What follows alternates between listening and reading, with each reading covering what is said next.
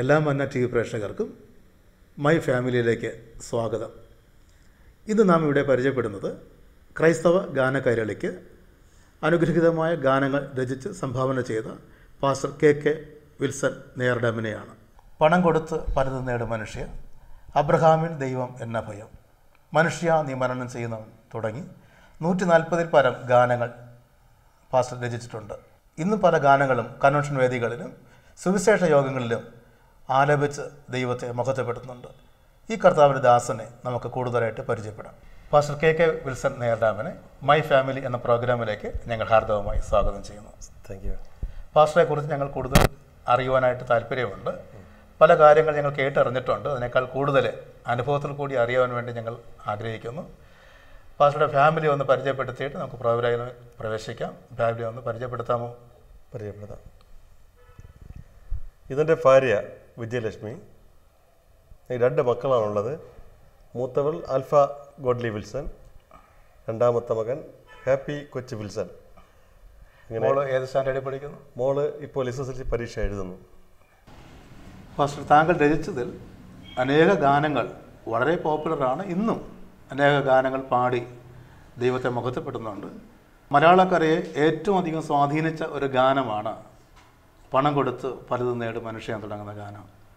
ഇന്നും പല ഇടങ്ങളിൽ പാടി ദൈവത്തെ മുഖത്തപ്പെടുത്തുന്നു. ആ ഗാനം എഴുതാനുണ്ടായ ഒരു അനുഭവം എന്തൊക്കെയായിരുന്നു എന്ന് വിവരിക്കാമോ? വാസ്തവത്തിൽ ആ ഗാനം രചിച്ചത് വെറും ഇരുപത് മിനിറ്റ് സമയം മാത്രമേ ആ ഗാനം എഴുതാൻ ഞാൻ എടുത്തിട്ടുള്ളൂ. ഒരു തരത്തിൽ പറഞ്ഞാൽ എഴുതി തുടങ്ങുമ്പോൾ തന്നെ ഒരു ഒഴുക്കായിരുന്നു. ഒരു ആത്മീയമായ ഒഴുക്കെന്ന് തന്നെ പറയാം. പക്ഷേ എഴുതി കഴിഞ്ഞപ്പോൾ എനിക്കൊരു പേടി തോന്നി. പേടി തോന്നാനുള്ള കാരണം ക്രൈസ്തവ ലോകത്ത് പണത്തെക്കുറിച്ച് ഒരു പാട്ട് ആരും എഴുതിയതായിട്ട് ഞാൻ കേട്ടിട്ടില്ല. ശരിയാണ്. പക്ഷേ ഈ പാട്ട് പുറത്ത് വന്നാൽ ക്രൈസ്തവരായിട്ടുള്ളവർ തന്നെ എന്നെ കല്ലെറിയുമെന്നുള്ള ഒരു എന്തോ ഒരു ഉത്ഭയം എനിക്ക് തോന്നി. മാത്രമല്ല ഈ പാട്ട് അത്ര പോപ്പുലർ ആവുമെന്നും ഞാൻ വിചാരിച്ചില്ല. അതുകൊണ്ട് ആദ്യത്തെ സി ഡി ഇറക്കുന്ന സമയത്ത് ഞാൻ വേറെ എഴുതിയ ആറ് പാട്ടുകളെടുത്ത് ഓർഗനൈസേഷൻ ചെയ്തു. ചെയ്തപ്പോഴും ഈ പാട്ടെടുക്കാനുള്ള ഒരു മാനസികാവസ്ഥ എനിക്കുണ്ടായിരുന്നില്ല. അവസാനം എന്തോ വരട്ടെ എന്നുള്ള ചിന്തയിലാണ് ഈ പാട്ടെടുത്ത് ഓർക്കസ്ട്രേഷൻ ചെയ്ത് സി ഡി ആക്കി പുറത്തിറക്കാനിടയായിത്തീരുന്നത് എന്നാൽ ഇത് പുറത്തിറക്കിയപ്പോൾ ഇതിനേക്കാളും വളരെ സ്ട്രെയിൻ ചെയ്ത് എഴുതിയ പാട്ടുകൾ ഒന്നുമല്ലാതെ പോയി. പക്ഷേ ഈ പാട്ട് വളരെ പോപ്പുലറായി തീരുവാൻ സാധിച്ചുവെന്ന് പല സ്ഥലങ്ങളിൽ നിന്ന് കേൾക്കുവാൻ ഇടയായിട്ടുണ്ട്. ഈ പാട്ട് എഴുതിയ ആളിനെ തിരക്കി എന്നെ കാണാൻ വഴി ചോദിച്ച് വീട്ടിൽ വന്നിട്ടുള്ള ആൾക്കാരും ഉണ്ട്. അങ്ങനെ പല അനുഭവങ്ങളും ഈ പാട്ടിൽ കൂടി എനിക്ക് ഉണ്ടായിട്ടുണ്ട്. ഇത്തരത്തിൽ വേറെ ഏതെങ്കിലും ഗാനങ്ങൾ ആ നിലവാരത്തിൽ രചിച്ചിട്ട് ഒരു സന്തോഷം പകരുന്ന ഒരു ഗാനം രചിച്ചിട്ടുണ്ട് അങ്ങനെ വേറെ രചിച്ചിട്ടുണ്ട്. സന്തോഷം വരുന്ന ഗാനങ്ങൾ വേറെ രചിച്ചിട്ടുണ്ട് അത് വേറെ മറ്റൊരു തലത്തിലുള്ള അനുഭവത്തിൽ അത് എഴുതിയിട്ടുള്ളത്. ശരി പാസ്റ്ററുടെ ബാല്യകാലത്തെക്കുറിച്ചും മാതാപിതാക്കളെക്കുറിച്ചും അറിഞ്ഞാൽ ഞങ്ങൾക്ക് കൊള്ളാമെന്ന് തോന്നുന്നു. ബാല്യകാലത്തെക്കുറിച്ച് പറഞ്ഞാൽ ഇന്ന് ഞാൻ വളരെ ബ്ലെസ്സിങ്ങിലാണ് അനുഗ്രഹത്തിലാണ് ഞാൻ ജീവിക്കുന്നതെന്ന് എനിക്ക് പറയാൻ കഴിയും.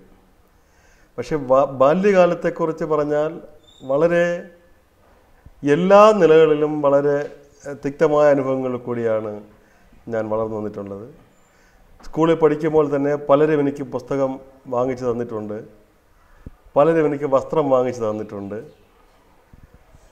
സ്കൂളിൽ നിന്ന് ബുക്ക് വാങ്ങിക്കാത്തതുകൊണ്ട് പുറത്തിറങ്ങി പുറത്തിറക്കി വിട്ടിട്ടുണ്ട്. അങ്ങനെ അങ്ങനെയൊക്കെയുള്ള അനുഭവങ്ങൾ കൂടി വളരെ ആഹാരമില്ലാതെയും നല്ല വസ്ത്രമില്ലാതെയും കിടക്കാൻ നല്ല ഭവനമില്ലാതെയും ഒക്കെ വളർന്നു വന്ന ഒരു സാഹചര്യമാണ് എന്റെ ജീവിതത്തിൽ ഉണ്ടായിട്ടുള്ളത് കാരണം എന്റെ അപ്പനും അമ്മയ്ക്കും വലിയ വിദ്യാഭ്യാസമില്ല. അവർ അപ്പനൊരു കൂലിപ്പണിക്കാരനായിരുന്നു. അപ്പന്റെ പേര് കൊച്ചുകുഞ്ഞെന്നാണ് പക്ഷേ അമ്മ എന്റെ ബാല്യകാലം മുതൽ എന്നൊരു ഹാർട്ട് പേഷ്യന്റ് ആയിരുന്നു. ആ ഹാർട്ട് പേഷ്യന്റായ സമയത്ത് നാട്ടുകാരിൽ ചിലർ അന്നത്തെ ആയിരത്തി തൊള്ളായിരത്തി എഴുപത്തി ആറിൽ എഴുപത്തി ആറ് രൂപ സോറി അറുപത്താറ് രൂപ ഞങ്ങൾക്ക് പിരിച്ചു തന്നിട്ടുണ്ട്. അന്നൊക്കെ അഞ്ച് പൈസ പത്ത് പൈസയ്ക്കൊക്കെ വലിയ വിലയുള്ള കാലഘട്ടമാണ്. എഴുപത്തി അഞ്ച് ആ എഴുപത്തി ആറിലാണ് എഴുപത്തി ആറിൽ അപ്പോൾ ആ കാലഘട്ടത്തിൽ അറുപത്താറ് രൂപ നാട്ടുകാർ പിരിച്ച് തരിക എന്ന് പറഞ്ഞാൽ ഇന്ന് നൂറ് രൂപയ്ക്ക് പോലും ഒരു വിലയില്ലാത്ത കാലഘട്ടമാണ്. അപ്പോൾ അതിന്റെ ഒരു അത് ഒന്ന് ആലോചിച്ച് നോക്കണം. അപ്പോൾ ആ നിലയ്ക്ക് വളരെ തിക്തമായ അനുഭവത്തിൽ കൂടിയാണ് ഞാൻ വളർന്നു വന്നിട്ടുള്ളത്. ബാല്യകാലം കൈപ്പേറിയ അനുഭവങ്ങളായിരുന്നു എന്ന് പാസ്റ്റർ പറഞ്ഞല്ലോ. ആ സാഹചര്യങ്ങൾ എങ്ങനെയാണ് തരണം ചെയ്തത്? അത് പറഞ്ഞാൽ എന്റെ അമ്മ വളരെ ഉറച്ച ഒരു ഭക്തയായ സ്ത്രീയായിരുന്നു. ദൈവത്തിൽ വളരെ ആശ്രയിച്ച് ഭയങ്കരമായ പ്രാർത്ഥനാ ജീവിതമുള്ള ഒരു വ്യക്തിയായിരുന്നു. വീട്ടിൽ ആഹാരമില്ലാതിരുന്ന ഇരിക്കുന്ന സമയങ്ങളിൽ അമ്മ ഇരുന്ന് കരഞ്ഞ് പ്രാർത്ഥിക്കുന്നത് കാണുവാൻ സാധിച്ചു സാധിച്ചിട്ടുണ്ട്. പക്ഷെ അവിടെയൊക്കെ പറയുമ്പോൾ അമ്മയുടെ പ്രാർത്ഥന തന്നെയാണ് അതാത് സമയത്ത് വരുന്ന പ്രതിസന്ധികളെ അതിജീവിക്കുവാനിടയായി തീർന്നിട്ടുള്ളത്. ആ കാലഘട്ടത്തിലൊന്നും എന്റെ ഫാദർ രക്ഷയുടെ ഭാഗത്ത് കടന്നു വന്നിട്ടില്ലായിരുന്നു. പക്ഷെ രക്ഷയുടെ ഭാഗത്ത് കടന്നു വന്നപ്പോൾ മറ്റു വ്യത്യാസങ്ങളുണ്ടായി. ആ, രക്ഷയുടെ ഭാഗത്ത് കടന്നു വരുന്നതിന് മുമ്പ് അമ്മയുടെ കരച്ചിലാണ് ഞങ്ങൾ ഈ പ്രതിസന്ധിയിൽ നിന്നൊക്കെ ദൈവം വിടുവിക്കാനിടയായി തീർന്നിട്ടുള്ളത്. അമ്മ പ്രാർത്ഥന വീരയായിരുന്നു. പ്രാർത്ഥന വീരായിരുന്നു അതെ. അമ്മ അന്ന് കരഞ്ഞെങ്കിൽ അതിന്റെ ബ്ലെസ്സിങ് ഇപ്പോൾ നമുക്ക് ലഭിച്ചിട്ടുണ്ട്. അത് ലഭിച്ചിട്ടുണ്ട്. പ്രത്യേകിച്ച് ഞാൻ അനുഭവം പറഞ്ഞു കഴിഞ്ഞാൽ ഞങ്ങളുടെ വീടെന്ന് പറഞ്ഞ ഓല കൊണ്ട് മറച്ച ഒരു വീടായിരുന്നു. വാതിലെന്ന് പറയുന്നത് നാല് ഓല ഇങ്ങനെ കീറി വെച്ച് അതിന്റെ വരിച്ചിൽ ഈ കമുകിന്റെ വരിച്ചിൽ വെച്ച് ആണി വെച്ച് അടിച്ച് ഉള്ള വാതിലായിരുന്നു ഞങ്ങളുടെ വീട്. ഞാൻ കിടക്കുന്ന ഒരു മെത്താണം എന്ന് പറയും. മെത്താണം. ആർക്ക് ഇന്നത്തെ കാലഘട്ടത്തിൽ അറിയില്ല. മണ്ണ് കൊണ്ട്. മണ്ണ് കൊണ്ട് ഇങ്ങനെ ഉണ്ടാക്കി ആ മെത്താണത്തിൽ കിടക്കുമ്പോൾ ചില രാത്രികളിൽ എന്റെ ചെറുപ്പത്തിൽ ഞാൻ ഞെട്ടി ഉണരും. പക്ഷെ ഞെട്ടി പോകുന്ന സമയങ്ങളിൽ എന്ന് വെച്ചാൽ പാതിരാത്രി എന്റെ അമ്മ എന്റെ കാലിന്റെ താഴെ ഭാഗം വന്നിരുന്ന് മുട്ടുകുത്തിയിരുന്ന് ഈ പെരുവിരൽ പിടിച്ചവരെ മുഖത്ത് വെച്ചിട്ട് അവർ കണ്ണുനീരൊഴുക്കി പ്രാർത്ഥിക്കുന്ന ദൈവമേ എന്റെ മകനെ അനുഗ്രഹിക്കണമേ എന്റെ പിള്ളേരെ അനുഗ്രഹിക്കണമേ എന്നുള്ള രാത്രി കാലങ്ങളിൽ പലപ്പോഴും എനിക്കത് അനുഭവം ഉണ്ടായിട്ടുണ്ട്. ഞാൻ വിചാരിക്കുന്നത് ആ കണ്ണുനീര് ദൈവത്തിന്റെ ആ തുരുത്തിയിൽ എത്തി. അതിന്റെ ഫലമാണ് ദൈവമെന്ന് എന്നെ ഇങ്ങനെ കൊണ്ടെത്തിക്കുന്ന കാരണമെന്ന് വിശ്വസിക്കുന്നു. തീർച്ചയായിട്ടും കണ്ടു തൂകുമ്പോൾ മനസ്സറിയുന്ന ദൈവമാണ് തീർച്ചയായും. പാസ്റ്റർ എങ്ങനെയാണ് ഈ ആത്മീയത്തിലേക്ക് വരാൻ കാരണം? അതൊരു ചെറിയ കഥയാണ്. ഞാൻ എന്ന് പറഞ്ഞാൽ ഞാൻ ഒരു പ്രാവശ്യം ഞാൻ വിശ്വാസത്തിൽ വന്നിട്ടില്ല. അന്നത്തെ കാലഘട്ടത്തിൽ ഞാൻ ചെറുതായി കവിതയൊക്കെ എഴുതി ഒരു വേറെ രീതിയിൽ പല സ്ഥല എഴുത്ത് ചെറുപ്പം ഉണ്ടായിരുന്നു. കവിതകൾ എഴുതി ഈ ക്ലബ്ബുകളിലും ക്ഷേത്രങ്ങളിലൊക്കെ ചെന്ന് ഞാൻ കവിതകളൊക്കെ അവതരിപ്പിച്ചിട്ടുണ്ട്. ആയിരത്തി തൊള്ളായിരത്തി എൺപത്തി ഒമ്പതിൽ ഞാനൊരു കവിതാ സമാഹാരം പുറത്തിറക്കിയിട്ടുണ്ട്. അഗ്നിച്ചിറകുകൾ എന്നാണ് പേര് പേര്. ഈ അഗ്നിച്ചിറകുകൾ എന്ന പേരിൽ നമ്മൾ doctor A P J Abdul Kalam ഒരു പുസ്തകം എഴുതിയിട്ടുണ്ട്. പക്ഷേ അതിന് മുമ്പാണ് ഈ പേരിൽ ഞാനൊരു പുസ്തകം ഇറക്കിയിട്ടുള്ളത് ഞാൻ അവിടെ ഇവിടെ ഒരു ദിവസം വീട്ടിൽ നിൽക്കുമ്പോൾ ഒരു ദൈവദാസൻ വന്ന് പറഞ്ഞു വിൽസൺ ഇന്ന് വെറുതെ നിൽക്കുകയല്ലേ? ഞാനൊരു കൺവെൻഷൻ നടത്തുന്നു. വാ ഒന്ന് സ്റ്റേജ് കിട്ടിത്തരാൻ സഹായിക്കണമെന്ന് പറഞ്ഞു. ഒരു എതിർപ്പും പറയാതെ ഞാൻ അവിടെ പോയി. കോവളത്താണ്. ഇന്ന് കോവളത്തോടെ ഒരു ഐ പി എസ് ചർച്ചുണ്ട് ഡോക്ടർ ജോർജ് ശാസ്ത്രിയുടെ ആ, സമയുടെ അവിടെ ഞാൻ സ്റ്റേജ് കെട്ടാനും വേണ്ടി പോയി സ്റ്റേജ് കെട്ടിയാൽ പറഞ്ഞു ബിൽസൺ പറഞ്ഞ ഒരു കാര്യം ചെയ്യും ഇന്ന് വീട്ടിൽ പോകണ്ട ഇന്ന് നമുക്കിവിടെ കിടക്കാം. ഞാൻ പറഞ്ഞു എനിക്ക് വേറെ വസ്ത്രമൊന്നുമില്ല. ആ വസ്ത്രമൊക്കെ ഞാൻ തരാമെന്ന് പറഞ്ഞു. പക്ഷേ ഞാൻ അന്ന് അവിടെ തന്നെ നിന്നു. അന്ന് പാസ്റ്റർ കെ സി ജോൺ പ്രസംഗിച്ചു. പ്രസംഗത്തിൽ വളരെ പ്രൗഢ ഗംഭീര സ്വരത്തിൽ തന്നെ ഒന്നിയോഹനാൻ രണ്ടിൽ എന്റെ നാലിൽ പറയുന്ന ഒരു വാക്യം അവനെ അറിഞ്ഞിരിക്കുന്നു എന്ന് പറയുകയും അവന്റെ കൽപ്പനകളെ പ്രമാണിക്കാതിരിക്കുകയും ചെയ്യുന്നവൻ കള്ളനാകുന്നു. സത്യം അവനിൽ ഇല്ല എന്ന് പറഞ്ഞിട്ട് പറഞ്ഞു. നീ ക്രിസ്ത്യാനിയുടെ ഭവനത്തിൽ ജനിച്ച വ്യക്തിയായിരിക്കും ക്രിസ്തീയ പേരുള്ള വ്യക്തിയായിരിക്കും ക്രിസ്തീയ പാരമ്പര്യമുള്ള വ്യക്തിയായിരിക്കും. പക്ഷേ നീ രക്ഷിക്കപ്പെടാതെ സ്നാനപ്പെടാതെ പരിശുദ്ധാത്മാവിന്റെ ആശയം പ്രാപിക്കാതെ നീ ജീവിക്കുന്നുവെങ്കിൽ ദൈവസ്ഥനിൽ നീ കള്ളനാണ്. എന്നിട്ട് അദ്ദേഹം പറഞ്ഞു സ്ത്രീയാണെങ്കിൽ നീ കള്ളിയാണെന്ന് പറഞ്ഞു. അന്ന് രാത്രിയിൽ ഞാൻ യേശുക്രിസ്തുവിനെ സ്വന്തം രക്ഷിതാവായി ഞാൻ എണീറ്റ് നിന്ന് കരമുയർത്തി സമർപ്പിച്ചു കൊടുത്തു. ഒരു വ്യാഴാഴ്ച ദിവസമായിരുന്നു ആയിരത്തി തൊള്ളായിരത്തി തൊണ്ണൂറ്റൊന്ന് ജനുവരി മാസത്തിൽ ഒരു വ്യാഴാഴ്ച ദിവസം. ആ തൊട്ടടുത്ത ഞായറാഴ്ച സ്നാനപ്പെട്ട് എന്റെ അപ്പനടുത്ത് അമ്മനടുത്ത് ആരോടും പറഞ്ഞില്ല. വ്യക്തിപരമായ തീരുമാനത്തിൽ സ്നാനപ്പെട്ടു. ഞാൻ നേരെ മടങ്ങി വീട്ടിലേക്ക് വരുവാനായി തീർന്നു ഏതൊരു വ്യക്തിയുടെയും ജീവിതത്തിൽ ദൈവത്തിന്റെ നിയോഗമുണ്ട് ഒരു നിർണയമുണ്ട്. തീർച്ചയായും. നിശ്ചയമായിട്ടും ദൈവത്തിന്റെ നിർണയ സമയത്ത് പാസ്റ്റർ അവിടെ കൊണ്ട് എത്തിച്ചു അത്രമാത്രം. മാത്രം അതെ റൈറ്റ് ഏതെങ്കിലും സഭയിൽ ശുശ്രൂഷ ഇപ്പോൾ ചെയ്യുന്നുണ്ടോ? ഞാൻ ഐ പി സി സൗത്ത് സെൻട്രലിൽ ഇപ്പോൾ ഈ റീസെന്റ് ടൈം വരെ ഒരു അഞ്ച് വർഷം ഒരു ചർച്ചിൽ ഉണ്ടായിരുന്നു ഇപ്പോൾ താൽക്കാലികമായിട്ട് ആ ചർച്ചിൽ നിന്ന് മാറി. ഇപ്പോൾ താൽക്കാലികമായി മറ്റൊരു ചർച്ചിൽ ഞാൻ ശുശ്രൂഷയ്ക്ക് പോയിക്കൊണ്ടിരിക്കുകയാണ്. അസിസ്റ്റന്റ് പാസ്റ്റർ ആയിട്ടാണ് ആ പാസ്റ്റർ ഇപ്പോൾ സ്ഥലത്തില്ലാത്തത് കൊണ്ട് എന്നെ അവിടെ ആക്കിയിരിക്കുകയാണ്. ആക്കിയിരിക്കുകയാണ് ഗാനരചനയെക്കുറിച്ച് ധാരാളം കാര്യങ്ങൾ പറഞ്ഞു. ഈ ഗാനങ്ങൾ എഴുതുമ്പോൾ പ്രത്യേക ജീവിത അനുഭവങ്ങളിൽ നിന്ന് പ്രത്യേകിച്ച് സാധു കൊച്ചുകുഞ്ഞ് ഉപദേശി തുടങ്ങിയ ഭക്തന്മാരുടെ ഗാന മിക്കവാറും അവരുടെ ജീവിത അനുഭവത്തിൽ ഉണ്ട ഗാനങ്ങൾ. അത്തരത്തിൽ ഏതെങ്കിലും അനുഭവത്തിൽ നിന്ന് ഗാനങ്ങൾ എഴുതിയിട്ടുണ്ടോ? ഗാനങ്ങൾ എഴുതിയിട്ടുണ്ട്. ഇപ്പോൾ സാധു കൊച്ചുകുഞ്ഞ് ഉപദേശി അദ്ദേഹം വേറൊരു കാലഘട്ടത്തിൽ ഒരു പ്രത്യേക അനുഭവം ജീവിച്ച വ്യക്തിയായിരുന്നു. അപ്പോൾ ആ തരത്തിലുള്ള ഗാനങ്ങൾ പക്ഷേ ഈ കാലഘട്ടത്തിൽ എന്റേതായ അനുഭവത്തിലുള്ള ആ ഗാനങ്ങൾ വ്യക്തിപരമായി ഞാൻ എഴുതിയിട്ടുണ്ട്. അത് ഏത് ഗാനമോ എഴുതേണ്ട സാഹചര്യം കൂടെ ഒന്ന്. സാഹചര്യം. ഇപ്പോൾ എന്റെ ഇവിടെ അടുത്തിരിക്കുന്ന എന്റെ ഭാര്യ വിജയലക്ഷ്മി എന്റെ രണ്ടാമത്തെ ഭാര്യയാണ്. എന്റെ ആദ്യത്തെ ഭാര്യ അനി വിൽസൺ പതിനെട്ട് വർഷം എന്നോട് ജീവിച്ചു. പക്ഷേ പതിനഞ്ച് വർഷമായപ്പോൾ ക്യാൻസറിന്റെ അസുഖം വന്നു. ക്യാൻസറിന്റെ അസുഖം വന്ന് ഡോക്ടർ പറഞ്ഞു ഇനി മൂന്ന് മാസം കൂടെ ജീവിക്കുള്ളൂ എന്ന് പറഞ്ഞു. പക്ഷേ മൂന്നര വർഷം കൂടെ ജീവിച്ചിരുന്നു. ഇപ്പോൾ ദൈവസന്നിധിയിൽ ചേർക്കപ്പെട്ടിരിക്കുന്നു. അതിനിടയിൽ ഞാൻ എഴുതിയ ചില ഗാനങ്ങൾ വളരെയധികം ഹൃദയഭേദകമായി ഹൃദയത്തിന്റെ ആഴത്തിൽ നിന്ന് വേദനാജനകമായി വന്ന വരികൾ തന്നെയാണ് ദൈവം തന്നത്. അങ്ങനെ ചില ഗാനങ്ങൾ ഉണ്ട്. അത്തരത്തിലുള്ള ഏതെങ്കിലും ഗാനത്തിൽ ഒരു നാല് പേര് പ്രേക്ഷകർക്ക് വേണ്ടി വന്ന് പാടാമോ? തീർച്ചയായും. സങ്കടക്കടലാണൻ ജീവിതം നാഥ സങ്കീർത്തനം പാടും ഹൃദയം. സങ്കടക്കടലാണൻ ജീവിതം. നാഥ സങ്കീർത്തനം പാടും ഹൃദയം. ദൈവസ്നേഹം നിറയും മനസ്സിൽ. സ്തുതികളായി ഉയരും തിരുവചനം നാഥ. നാഥ. നീ മാത്രമെന്നാത്മമിത്രം സങ്കടക്കടലാണൻ ജീവിതം. നാഥ സങ്കീർത്തനം പാടും ഹൃദയം. ഒരു കാര്യം മനസ്സിലായി. പക്ഷെ നല്ലൊരു ഗായകൻ കൂടിയാണ്. നല്ല ശബ്ദത്തിനുടമയാണ് ഇനിയും കർത്താവ് മുഖാന്തരങ്ങൾ ഒരുക്കട്ടെ എന്ന് പ്രാർത്ഥിക്കുന്നു. മറ്റൊരു കാര്യം സാമൂഹിക രംഗത്ത് പ്രവർത്തിക്കുന്നതായിട്ട് പല നിലകളിൽ പ്രവർത്തിക്കുന്നതായിട്ട് അറിയാൻ കഴിഞ്ഞു എങ്ങനെയാണ് ഈ പ്രവർത്തനത്തിൽ മുമ്പിലോട്ട് വരാനുള്ള കാരണം? ഏതെല്ലാം നിലയിൽ പ്രവർത്തിക്കുന്നതെന്ന് അറിഞ്ഞാൽ കൊള്ളാമായിരുന്നു. ഒരു കാര്യമില്ലാത്തൊരു കാരണം ഉണ്ടാകില്ല എന്ന് ഞാൻ കേട്ടിട്ടുണ്ട്. എനിക്ക് പതിമൂന്ന് വയസ്സ് പ്രായമുള്ളപ്പോൾ എന്റെ ജീവിതത്തിൽ മറക്കാൻ പറ്റാത്ത ഒരു അനുഭവം ഉണ്ടായിട്ടുണ്ട്. ഒരിക്കലും ഒരു കല്യാണത്തിന് അന്ന് എനിക്ക് പതിമൂന്ന് വയസ്സ് പ്രായപ്പോൾ എന്റെതായ പ്രായത്തിലുള്ള ചില കുട്ടികളുമായിട്ട് വിളിക്കാത്ത ഒരു കല്യാണത്തിൽ അന്ന് ബംഗ്ലാവ് കുടുംബം എന്നാണ് പറയുന്നത്. സ്ഥലം ഞാൻ പറയുന്നില്ല. ബംഗ്ലാവ് എന്ന പേരുള്ള കുടുംബത്തിൽ ഒരു കല്യാണത്തിന് പോയി. കല്യാണത്തിന് പോയപ്പോൾ ഞങ്ങളെ ക്ഷണിക്കാത്തതും വളരെ മോശമായ വസ്ത്രം ധരിച്ചവരും വൃത്തിയില്ലാതെ അവസ്ഥയിലേക്കാണ് ഞങ്ങളവിടെ പോയത്. ഉടമസ്ഥൻ വന്ന് ചോദിച്ചു നിങ്ങൾ ആരാ നിങ്ങൾ ഇടന്നാ വന്ന് പിള്ളേരെ? പോ പുറത്തെന്ന് പറഞ്ഞിട്ട് എന്നെ പിടിച്ചൊരു തള്ളു തള്ളി. ഞാനും എന്റെ കൂടെ രണ്ട് മൂന്ന് പേരും കൂടി മറിഞ്ഞങ്ങ് വീഴുന്നു. അവിടെ നിന്ന് കരഞ്ഞുകൊണ്ട് എണീറ്റു. അവരാഹാരം തന്നതുമില്ല.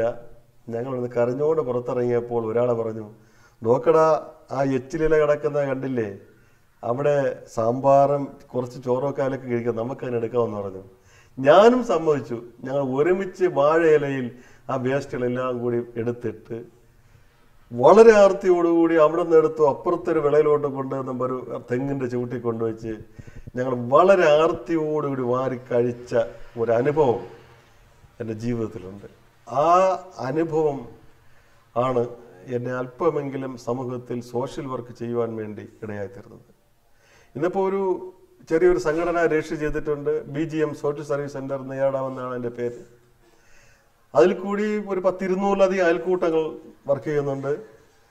നാനൂറിലധികം കിണറുകൾ ഈ മൂന്ന് നാല് പഞ്ചായത്തിലായിട്ട് ചെയ്തു കൊടുക്കാൻ സാധിച്ചിട്ടുണ്ട് കള്ളിക്കാട് കുറ്റിച്ചൽ പൂവച്ചൽ ഇങ്ങനെ കാട്ടാക്കട ഈ നാല് പഞ്ചായത്ത് അതിർത്തികളിൽ ഇങ്ങനെ ചെയ്തു കൊടുക്കാൻ ഇടയായിട്ടുണ്ട്. പിന്നെ ഒരു ഇരുന്നൂറ്റമ്പതോളം ശുചിമുറികൾ ചെയ്തു കൊടുത്തു.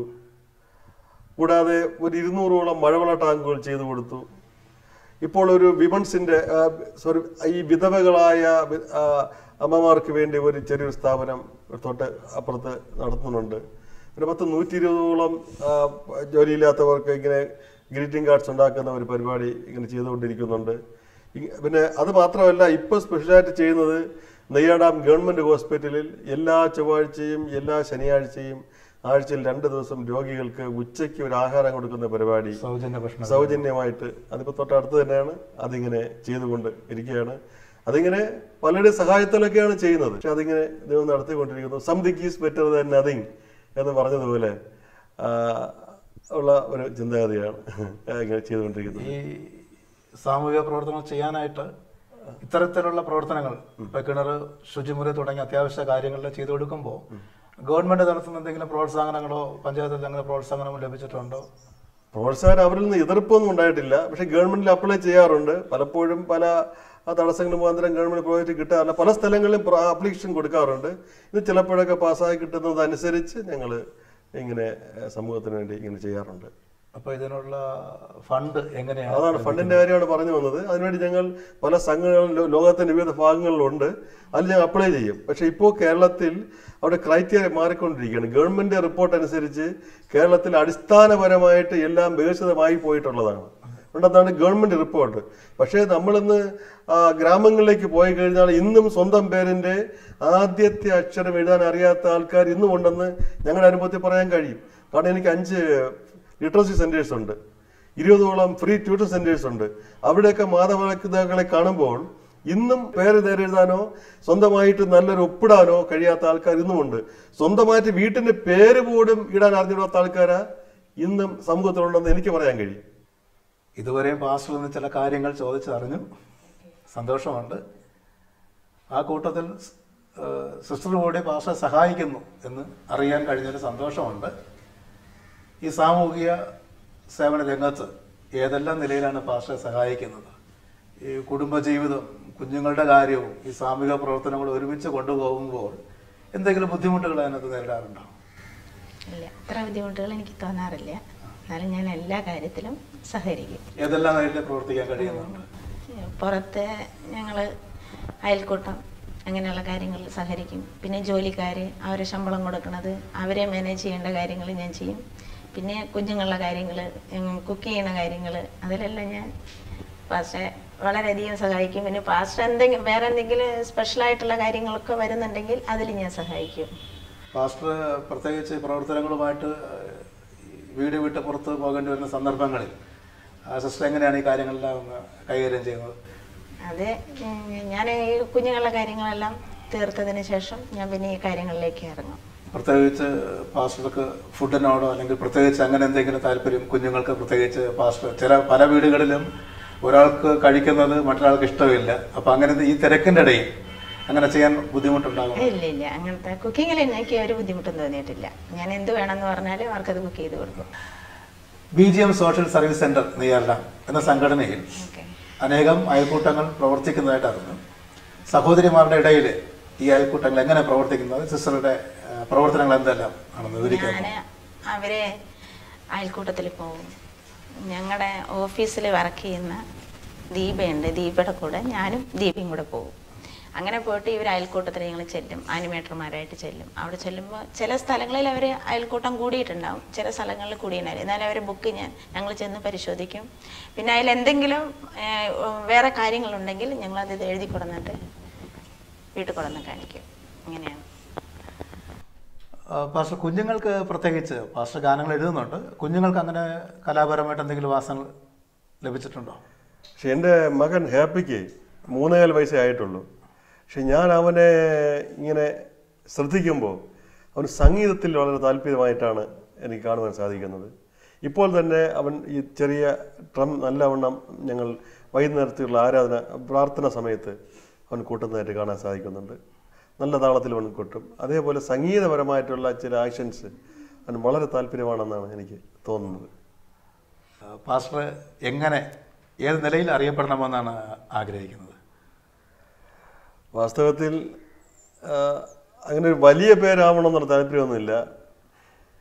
ക്രിസ്തുവിന്റെ ഒരു പടയാളിയായി നിന്നുകൊണ്ട് പ്രസംഗിക്കാൻ കഴിഞ്ഞില്ലെങ്കിലും പാട്ടിൽ കൂടെയെങ്കിലും ദൈവനാത്തിന്റെ നാമത്തെ ഉയർത്തുകയും അതിൽ കൂടി ആത്മാക്കളെ രക്ഷിക്കപ്പെടുത്താനുള്ള മുഖാന്തരം പാട്ടിൽ കൂടി ഇലക്ട്രോണിക്സിൽ കൂടി ജനത്തെ അറിയിപ്പിച്ച് ഇങ്ങനെ ശിഷ്ടായുസ് കഴിക്കാനാണ് എന്റെ അമിതമായ താല്പര്യം. നല്ല ആഗ്രഹങ്ങളെ സ്വർഗസ്ഥനായ ദൈവം സാധ്യമാക്കി തരട്ടെ ഞങ്ങളും പ്രാർത്ഥിക്കുന്നു. താങ്ക് യു നമ്മളെ ശ്രദ്ധിക്കുന്ന മന്ന ടി വി പ്രേക്ഷകരോട് മൈ ഫാമിലിയിൽ കൂടെ എന്തെങ്കിലും സന്ദേശം കൊടുക്കുവാനുണ്ടോ? സുവിശേഷം എന്ന് പറയുന്നത് ലോകത്തിലെ ഏറ്റവും നല്ലൊരു കാര്യമാണ്. പക്ഷെ പ്രവർത്തിക്കുന്നവർക്ക് അതിന്റെതായ ബുദ്ധിമുട്ടുണ്ട് നിസ്സാരമല്ല. സുവിശേഷ രംഗത്ത് നാം വളരണമെന്നുണ്ടെങ്കിൽ ദൈവം നമ്മളെ ഉയർത്തണമെന്നുണ്ടെങ്കിൽ എന്റെ അനുഭവത്തിൽ എനിക്ക് മനസ്സിലാക്കാൻ കഴിഞ്ഞിട്ടുള്ളത് നമ്മുടെ ത്യാഗ മനോഭാവം നമ്മുടെ ദീർഘക്ഷമ അതേപോലെ നമ്മുടെ സമയത്തെ ഉപയോഗപ്പെടുത്തുക നമ്മുടെ ഉള്ളിൽ ദൈവം എല്ലാവർക്കും ഒരു ടാലന്റ് തന്നിട്ടുണ്ട്. ആ ടാലന്റിനെ അനുദിനം വളർത്തിക്കൊണ്ടുവരുവാൻ ശ്രമിച്ചാൽ ഏതൊരു വ്യക്തിക്കും ദൈവനാമത്തിൽ ഉയരാൻ കഴിയും. വരയ്ക്കും തോറും വര തെളിയുമെന്നാണ് പറഞ്ഞിട്ടുള്ളത്. അപ്പോൾ വിദ്യാഭ്യാസം കൊണ്ട് മാത്രം ഒരു വ്യക്തി വളരണമെന്നില്ല. കാരണം എനിക്ക് വെറും പത്താം ക്ലാസ് മാത്രമേ വിദ്യാഭ്യാസമുള്ളൂ. എനിക്ക് ലിംഗ ബുക്ക് ഓഫ് അവാർഡ് ലഭിച്ചിട്ടുണ്ട്. അതെ ഇരുന്നൂറ്റി അറുപത്തി നാല് കിണർ ചെയ്തപ്പോൾ ഗ്രാമപ്രദേശത്ത് അങ്ങനെ കുടിവെള്ളത്തിന് വേണ്ടി പദ്ധതി ചെയ്തു എന്നും പറഞ്ഞുകൊണ്ട് ഇൻഡിവിജ്വലായിട്ട് ചെയ്തു എന്നും പറഞ്ഞുകൊണ്ട് അങ്ങനെ ലിംഗ ബുക്ക് ബുക്ക് ഓഫ് അവാർഡ് എനിക്ക് രണ്ടായിരത്തി പതിനൊന്നിൽ ലഭിച്ചു. പക്ഷെ വെറും പത്താം ക്ലാസ് മാത്രമല്ലേ എനിക്ക് വിദ്യാഭ്യാസമുള്ളൂ. ജീവിത വിജയത്തിന് ഒരു വ്യക്തമായി സമർപ്പണവും ഒരു ത്യാഗ മനോഭാവവും ഉണ്ടെങ്കിൽ ഏതൊരു വ്യക്തിക്കും ദൈവാശ്രയത്തിൽ മുന്നേറാൻ സാധിക്കുമെന്ന് എന്റെ ജീവിതം എന്നെ പഠിപ്പിച്ചിട്ടുണ്ട് എന്ന് മാത്രമേ എനിക്ക് പറയാനുള്ളൂ. മന്ന ടി വി പ്രേക്ഷകർക്ക് വേണ്ടി കുടുംബമായിട്ടൊരു പാട്ട് പാസ്റ്റ് എഴുതിയ ഒരു ഗാനം പാടാമോ എത്ര നാൾ പാർക്കും ഞാൻ ഈ മൺകൂടാരത്തിൽ എന്നു നിൻ സന്നിധി ചേരും. നാഥ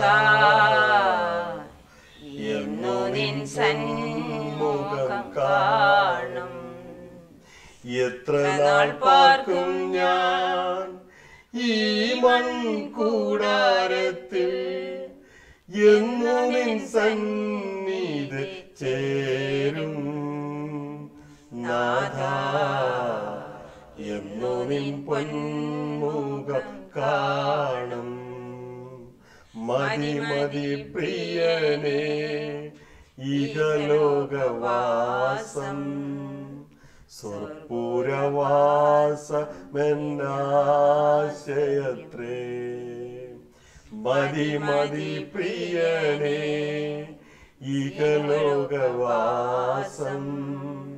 സർപ്പൂരവാസമെന്നാശയത്രേ എത്ര നാൾ പാർക്കും ഞാൻ ഈ മൺകൂടാരത്തിൽ? എന്നു നിൻ സന്നിധി ചേരും. നാഥ എന്നു നിൻ പൊന്മുഖം കാണും. ഇതുവരെ മന്ന ടി വിയോട് സഹകരിച്ച് പ്രിയ കർത്താവ് ദാസിനോട് കുടുംബത്തോടുള്ള ഞങ്ങളുടെ നന്ദി അറിയിക്കുന്നു. ദൈവം ധാരാളമായിട്ട് നിങ്ങളെ അനുഗ്രഹിക്കട്ടെ. ഇത്രയും സമയം വരെ ക്രൈസ്തവ ഗാന കൈരളിക്ക് അർത്ഥസമ്പുഷ്ടമായ ഒരു പിടി ഗാനങ്ങൾ സംഭാവന ചെയ്ത കർത്താവിന്റെ ദാസൻ പാസ്റ്റർ കെ കെ വിൽസൺ നേരിടാം തന്റെ കുടുംബത്തോട് ചെലവഴിച്ചു. അതെല്ലാവർക്കും അനുഗ്രഹമായി തീർന്നു എന്ന് ഞങ്ങൾ വിശ്വസിക്കുന്നു. അടുത്ത ആഴ്ച മറ്റൊരു വ്യക്തിയുമായി നമുക്ക് വീണ്ടും കാണാം. അതുവരെ നന്ദി. ദൈവം നമ്മെ അനുഗ്രഹിക്കട്ടെ.